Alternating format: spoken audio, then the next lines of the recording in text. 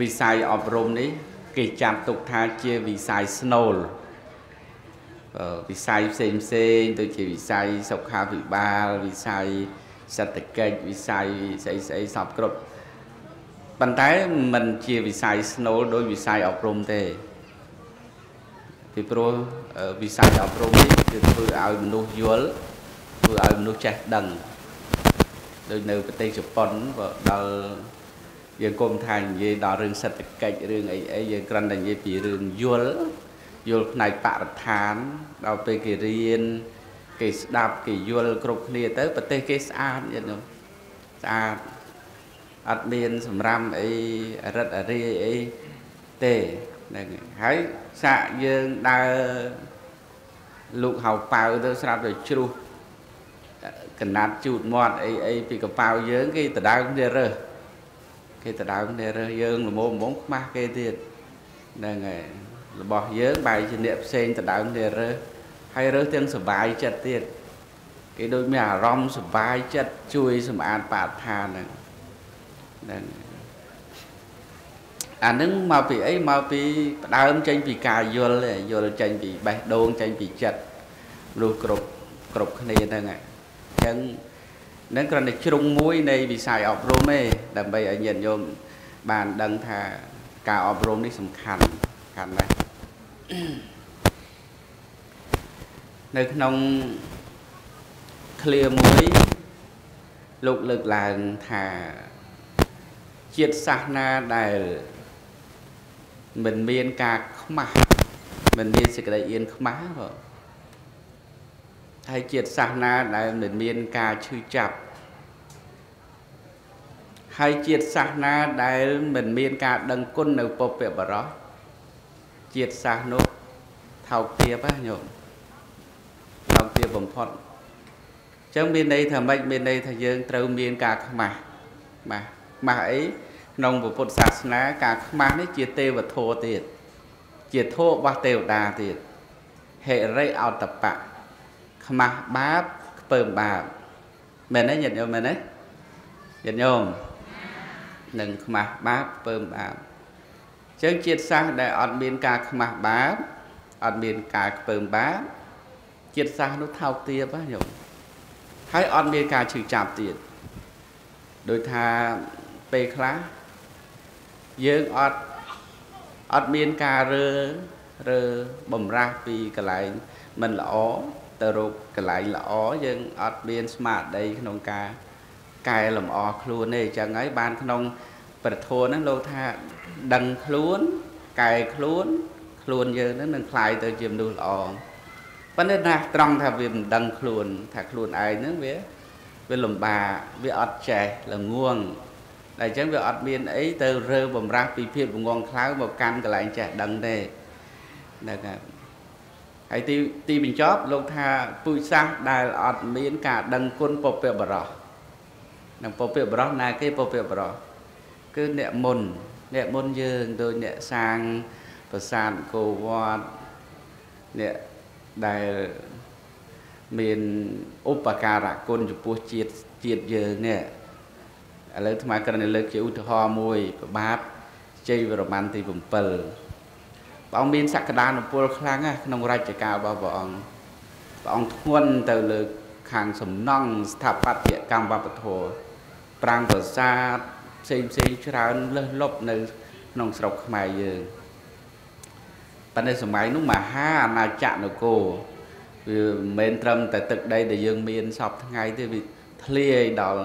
ខាងថៃបច្ចុប្បន្នយើងឃើញប្រមាណខេត្តដូចស៊ីសកេតដូចខេត្តមួយចំនួននៅមានប្រាសាទខ្មែរយើងនៅតសពថ្ងៃហើយទៅខាងកម្ពុជាក្រោមហើយទៅអញ្ចឹងឃើញថា ទឹកដីធំសម័យនោះហើយព្រះអង្គបានធ្ងន់ទៅក្នុងខាងសំណង់ស្ថាបត្យកម្មវប្បធម៌ហើយដល់ពុកអគ្គមហេសីរបស់ព្រះអង្គនាងព្រះនាងឥន្ទ្រទេវី នាងក៏ជ្រុំជ្រែងផ្នែកខាងអសរសាស្ត្រខាងកាបនិពន្ធអសរសាស្ត្រជាតិហ្នឹងគឺថាទទួលបន្ទុកដោយអគ្គមហេសីរបស់ព្រះអង្គហើយកូនកូនប្រុសមួយ ឈ្មោះតាមលិនតៈពោតាមលិនតៈបួសនៅក្នុងពុទ្ធសាសនាដោយគុណចាស់គ្រប់អង្គអញ្ចឹងគឺបួសក្នុងពុទ្ធសាសនាហើយមិនត្រឹមតែសិក្សារៀនសូត្រនៅក្នុងស្រុកខ្មែរទេគឺបញ្ជូនទៅរៀននៅដល់កោះតាមពៈបណ្ឌទ្វីបប្រទេសស្រីលង្កាទៀតផងហ្នឹងគឺថាវិស័យសិក្សាគឺថាគឺថាសម័យនោះគឺមានការរីកចម្រើន ទាំងសំណង់ស្ថាបត្យកម្មហើយ នឹងការអប់រំអញ្ចឹងហើយបានអាត្មានិយាយថាស្មារតីហើយនឹងសម្ភារៈគឺដើរទន្ទឹមគ្នាมันអាចខ្វះណាមួយបានទេជាមួយនឹងការលូតលាស់រីកចម្រើនផ្នែកហេដ្ឋារចនាសម្ព័ន្ធផ្នែកខាងសេដ្ឋកិច្ចក៏ត្រូវតែបណ្ដោះផ្លូវចិត្តរបស់យើងឲ្យមានការយល់ដឹងមិនជាការងាយស្រួលទេញោមកាលណាបើមានការគម្លាតគ្នាខ្លាំងពេកលំបាកទៅវិញឯង អាត្មាគ្រាន់តែលើកឧទាហរណ៍ថាពេលដែលយើងទៅស្រុកស្រុកក្រៅក្រៅពីស្រុកខ្មែរយើងញាតិញោមខ្លះគាត់អត់ចេះភាសាអង់គ្លេសទេហើយពេលដែលយើងទៅទិញសម្បត្តិឧទាហរណ៍ថាទៅអាមេរិកកាំងអញ្ចឹងចាហើយប្រាប់ថាជួយខ្ញុំផងអ្នកភ្នាក់ងារលក់សម្បត្តិយន្តហោះហ្នឹង ព្រោះខ្ញុំអត់ចេះអង់គ្លេសទេ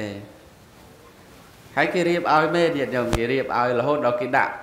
ឲ្យយើងពាក្យផ្លាកមកទៀតពាក្យផ្លាកហើយយើងវាអត់ដឹងរឿងយើងស្មានថាយើងវាអស់ចាជាងគេអត់ពាក្យផ្លាកនោះតាមពិតផ្លាកហ្នឹងគេដាក់ថា I don't know English please help me វាខ្ញុំអត់ដឹងអីទេជួយខ្ញុំផងញោម សង្ហាទេលយទេថាអត់មានសង្ហាអត់មានលយអីទេប៉ុន្តែសម្រាប់យើងវាមិនដឹងស្មានវាអស់ចាជាងអ្នកផ្សេងពីព្រោះអ្នកផ្សេងនោះគេអត់មានផ្លាកពាក្យទេហើយមកមានអីតែយើងហ្នឹងហើយយើងដើររៀងអឿនេះដែរដើររៀងពើងទ្រូងអីចឹងដែរហឹកហាក់ក៏ប៉ុន្តែតាមពិតសញ្ញាដែលពាក្យហ្នឹងប្រាប់ថាខ្ញុំអត់ដឹងអីទេខ្ញុំអត់ចេះភាសាអង់គ្លេសអីទេជួយខ្ញុំផងចឹងទៅភ្នាក់ងារនៅតាមពលានយន្តហនគេជួយសម្រួលរហូត រហូតដល់គោលដៅដែលយើងត្រូវឡើងច្រកទ្វារឡើងយន្តហោះហ្នឹងហើយដូច្នេះយើងត្រឹមយើងគិតត្រឹមថាយើងទៅបរទេសទៅប្រទេសផ្សេងផ្សេងត្រឹមតែយើងអត់ចេះភាសាអង់គ្លេសប៉ុណ្ណឹងយើងខ្លាចជាវ៉ាលីទៅហើយវ៉ាលីខ្ញុំវ៉ាលីដែលយើងរុញយើងអូសអញ្ចឹងណាហ្នឹងហើយគាត់តែយើងអត់ចេះប៉ុណ្ណឹងយើងខ្លាចទៅជាវ៉ាលីទៅហើយគេរុញគេអូសរហូត ហើយមានពេលមួយអាត្មាទៅឥណ្ឌាឆ្នាំ2006ក៏មានករណីគួរឲ្យគួរឲ្យចាប់អារម្មណ៍ហើយអាត្មាតាំងប៉ុណ្្នឹងមកក៏ចាប់ដើមរៀនភាសាអង់គ្លេសហ្នឹងដោយសាររឿងទៅឥណ្ឌាហ្នឹងកុំអីបែរជាអត់រៀនទេទៅឥណ្ឌាគ្នា59នាក់59នាក់ចេះចេះអង់គ្លេសតែម្នាក់ទេហើយពេលញាតិញោមទទួលទានអាហារហើយម្នាក់ម្នាក់ និយាយពីពឹងម្នាក់ដែលចេះនឹងឲ្យជូនទៅបន្ទប់ទឹកងាកអ្នកនេះងាកអ្នកនោះញ៉ាំពីហើយយើងទៅត្រូវ transit ទៅ transfer ពីម៉ាឡេស៊ីទៅឥណ្ឌាកាលនោះវាអត់មាន direct ទៅអឺដល់ឥណ្ឌាតែម្ដងទេត្រូវរងចាំដូចជា10ម៉ោងអីណោះញោមហើយអញ្ចឹងពុទ្ធបរិស័ទយើងត្រូវការបន្ទប់ទឹកគ្រប់គ្នាងាកជូនអ្នកនេះងាកជូនអ្នកនោះ ហើយអាត្មាចេះអង្គុយគិតខ្លួនឯងថាបើរឿងអីផ្សេងគាត់ធ្វើកាយវិការទៅគេយល់ទៅឃ្លានផឹកទឹកទៅធ្វើអញ្ចឹងទៅឃ្លានបាយឃ្លានអីចេះតែញុកនេះញុកនោះទៅគេយល់អូបែឃ្លានបាយឃ្លានអីហើយចុះបើអញ្ចឹងធ្វើកាយវិការមកចឹងញោមញោមត្រូវការបន្ទប់ទឹកដឹងថាធ្វើយ៉ាងម៉េចទៅ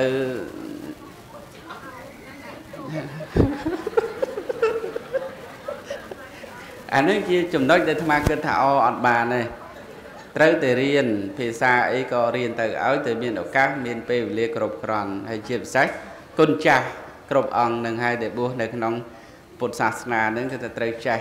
សពគ្រប់នេះខ្ញុំប្រកាសណាក្រំតែលើកឡើងប៉ុណ្ណឹងឲ្យពុទ្ធបរិស័ទគុណចាស់បាន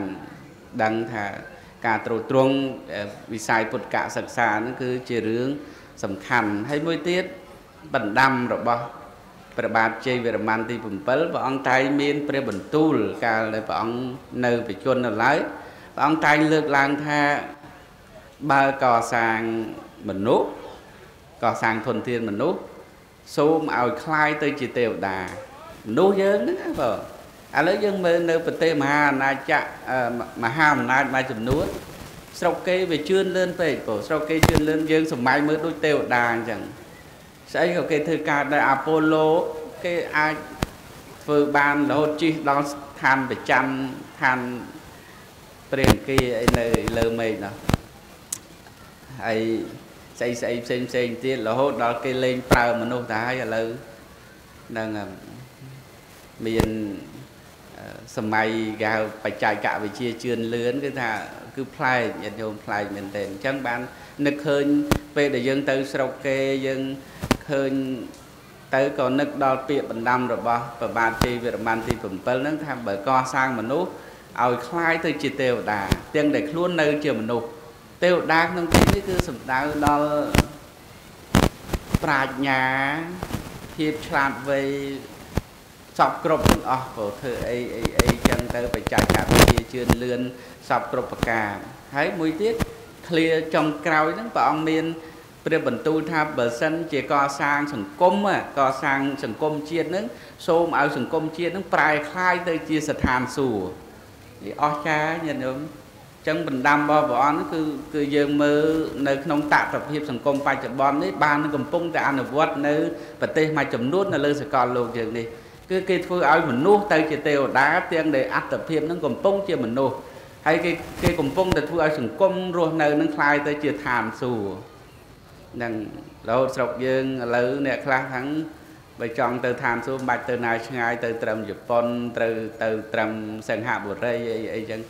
អានឹងមកពីអីមកពីយើងមើលឃើញការរីកចម្រើននៃសង្គមនោះនោះនឹងចឹងសូម បញ្ចប់ត្រឹមប៉ុណ្ណឹងបាតកថាផ្ដើមក្នុងពិធីបុណ្យហើយនឹងតតទៅទៀតគុណចាស់មុនអង្គអង្គទៀតណាហើយដំបងឡៃនេះនឹងបានកេនគុណចាស់អគ្គវង្សសោសុកភេនទៀតសូមរដ្ឋនិមន្ត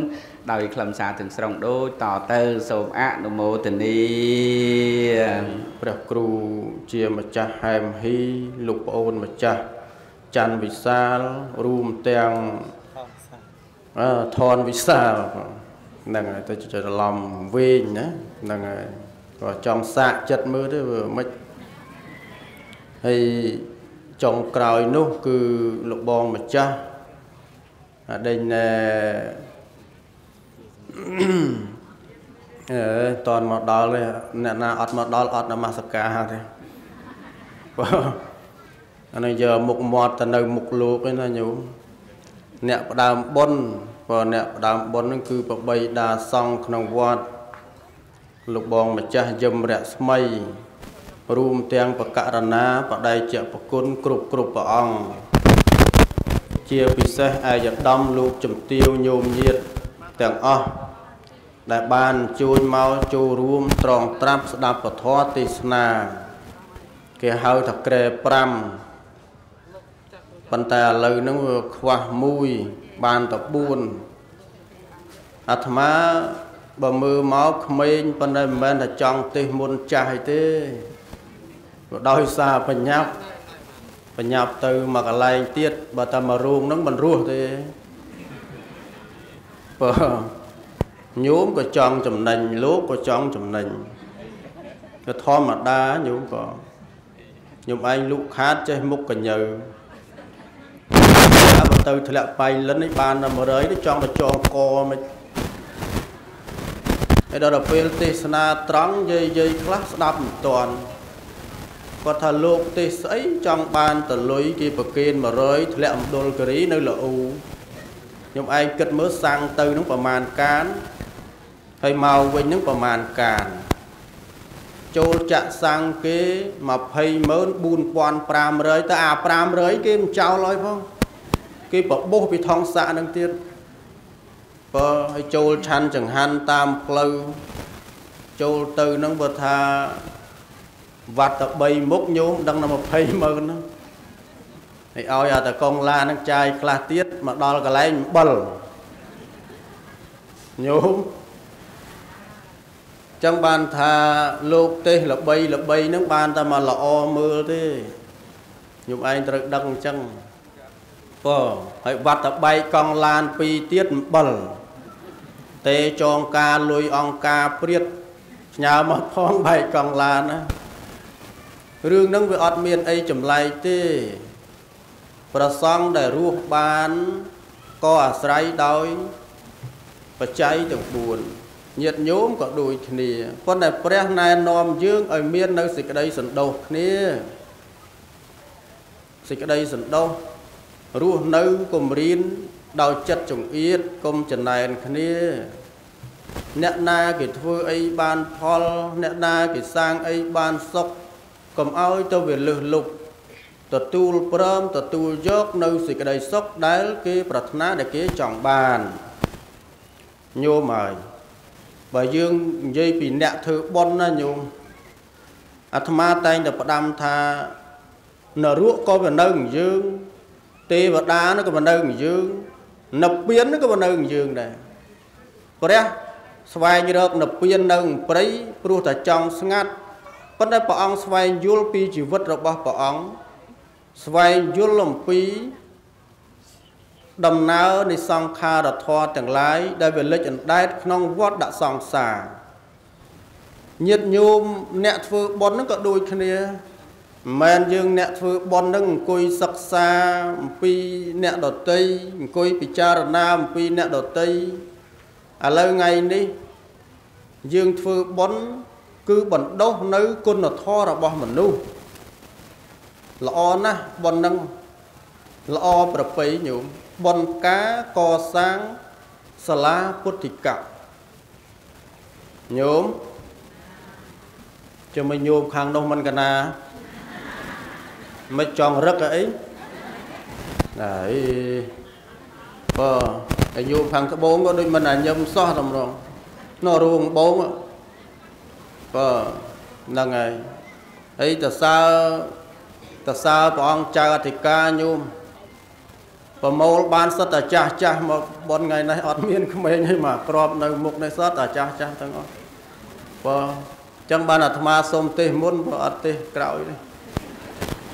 ហើយដល់ទេសក្រោយខ្យល់ចាប់ធ្លាក់ពីលើក្រែ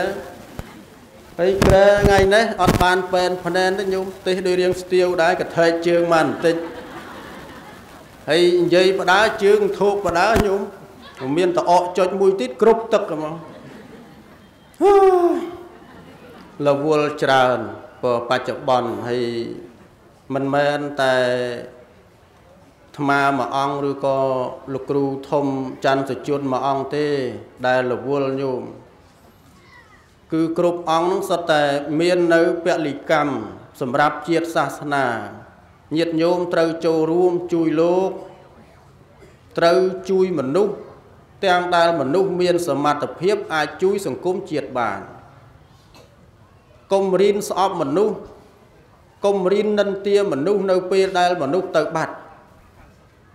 ញោមអ្នកណាហើយដែលថាមិនខុសអ្នកណាហើយដែលថាមិនត្រូវមាត់យើងមានក្លិនយើងមិនដែលហិតក្លិនមាត់យើងដឹងទេតែបើមាត់អ្នកដតីមានក្លិនយើងតែងតែដឹងចនិចមែនទេញោមជាធម្មតារបស់សពសត្វអាត្មាចង់និយាយថាការបណ្ដុះនៅវិស័យការអប់រំក្នុងសង្គមជាតិ មានពាក្យមួយដែលអាត្មានឹកក្នុងចិត្តថាការអប់រំរស់ជាតិរស់បើសិនជាការអប់រំរលាយជាតិបាត់បង់ញោមដូចដូច្នេះប្រសងមួយអង្គមួយអង្គមិនមែនយើងសឹងយកសុខទាំងដែលសេចក្តីសុខនោះជាសុខតែខ្លួនឯងអត់ទេ ត្រូវបែងចែកទៅលោកគ្រូធំទៅបទាយមានជ័យទៅលោកគ្រូយមរស្មីលោកនៅនឹងទៅលោកគ្រូហែមហ៊ីនោះលោកដឹកនាំ80ឡាន100ឡានទៅធ្លាក់ខេត្តណាខេត្តណីមកវិញឈឺចិត្តងាប់ចឹងទៅខ្ញុំឯងឃើញតែល្អទេខ្ញុំបើសុទ្ធតែប្រយោជន៍ដើម្បីជាតិសាសនាហើយយើង ញោមដឹងណាប្រសង់បួសដោយពួកអាត្មានេះទ្រាំបានណាសរសើរលោកទៅព្រោះឥឡូវនេះសម័យលេញោមឲ្យទៅបើក Facebook ឃើញកន្លែងលក់លេអាត្មាមិនសូវហ៊ានមើលទេប៉ុន្តែថ្ងៃណានាំនានឡាយលក់លេងគេដែរញោមបើឲ្យបានលុយកសាងវត្តយកទៅចូលជាមួយនឹងដេចគុណអង្គណាលោកបង្រៀនសិស្សអីចឹងណា កំងមកពីថៃអញ្ចឹងទៅបងសម័យនេះសម័យគេជឿនលឿនហើយលោកសង់បួសលោកទ្រាំបាននឹងការសើខ្លីរបស់មីអូនមីអូននោះហើយលោកទ្រាំបាននឹងបច្ចេកវិទ្យាដែលគេផ្សាយលោកឃើញតែអាម៉េចលោកដើរទៅរៀនកាត់មុខវាំងនឹងមិនឃើញសោះទេយ៉ាងម៉េចអាម៉េចគេ បញ្ចុកលះគ្នានឹងឯងនឹងមិនញាប់ញ័រទេអីរំភើបដែរតាប៉ុន្តែវាសង្វេគខ្លួនឯងថាអញអើយអញណា2014ហើយហេតុអីក៏អាត្មាអញគ្មានគូមួយនឹងគេណណាវាចេះតែសង្វេគខ្លួនឯងខ្ញុំឯងមើលហើយប៉ុន្តែទ្រាំទៅដើម្បីជាតិសាសនាយើងញោមចេះតែទ្រាំទៅហើយអាម៉េច ទៅសូត្រមួនការហ្នឹងឃើញកូនកំមុំកូនកំឡោះគេសាពះមុខហ្នឹងស្មានតែលោកនឹងមានសេចក្តីសុខណាស់អីបើតាមតែចិត្តចង់ទៅធាក់អាកូនកំឡោះនោះឲ្យធ្លាក់ដីញោមប៉ុន្តែធ្វើទៅវាមិនកើតម៉ែអើយមើលអាកូនកំមុំឡើងដូចទេពអប្សរមើលតែកូនកំឡោះមុខដូចស្វាវត្តភ្នំអញ្ចឹងមុខអន់ជាងលោកសុកផេនទៀតណា ប៉ុន្តែវាគូគេវាមិនមែនគូឯងអញ្ចឹងបានថាចេះអាទ្រាំទៅណាញោមហើយប៉ុណ្្នឹងដែរនោះស្មានអត់ណាខ្ញុំអីគេណាហ្នឹងហើយហើយលោកម្ចាស់គ្រូគ្រប់អង្គហ្នឹងដូចថាលោកមិនទាន់មានរៀងដល់មិនទាន់ដាក់ខោអាវដែរញោមណាដោយលោកគ្រូយឹមរស្មីអីតែដាក់ខោអាវទៅអាចាបជីនសុទ្ធអូពូចាបជីនបើមើលមើលបើ ហើយមិនដែលឆាន់អីទេយ៉ាងរងថ្ងៃមកគីឡូនៅតែប៉ុណ្្នឹងមកជូបលើកណាក៏តែប៉ុណ្្នឹងជូបលើកណាក៏តែប៉ុណ្្នឹងអាហ្នឹងប្រហែលជា40ជាងគីឡូហ្នឹង48កុំឲ្យធ្លាក់ដល់38ងាប់បានមែនណា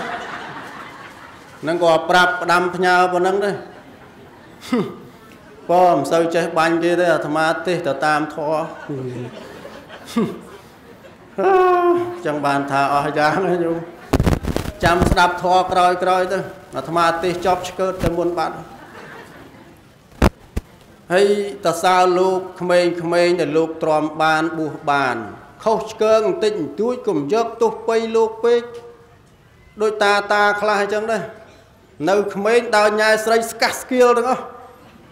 ប៉ុន្តែដល់ពេលលោកគ្រាន់តែក្លិនមីឈ្ងុយចេញពីកត់បន្តិចប៉ុណ្ណឹងនិយាយពីលោកខុសហើយសិតតែបរាជិក ប៉ុន្តែខ្លួនឯងនៅក្មេងវិញទៅទៅភូមិណាស្រីពាយភូមិហ្នឹងហើយអត់មានដែលគិតតែខ្លួនឯងនៅក្មេងហ្នឹងអាក្រក់ទេហើយដល់ទៅពេលបានចាស់ទុំបន្តិចបន្តួចសើកសស្លីកពាក់ខ្មៅមកចូលវត្តស្រួលឯងហ្នឹងត្រឹមត្រូវណាស់អញ្ចឹងស្រួលគេហ្នឹងមិនដឹងរឿងអីមែនដែរញោមអាត្មាចូលចិត្តទេសត្រង់អញ្ចឹងហើយដូចញោមនៅមុខអញ្ចឹងញោមឯងស្រីស្រីហ្នឹងនៅពីក្មេងមិនធ្លាប់មានសង្សារទេមែន ថ្ងៃមុនទៅទេសនានៅអរិយខ្សាត់ញោមមួយលើកដៃថាកណាធ្លាប់មានណែគាត់ត្រង់ណាញោមអូចេះគិតពីការនៅក្មេងនេះខ្លះផងហើយសម័យនេះគិតពីដល់សម័យញោមសម័យញោមមិនជឿនលឿនឯណាតែស្រឡាញ់គេចង់បានគេសិតតែសរសេរសបុតហ្នឹងមែនទេញោមស្រីនេះញោមវ៉ែនតានេះនេះអាញឹមស្រស់ដល់ហើយញោមណា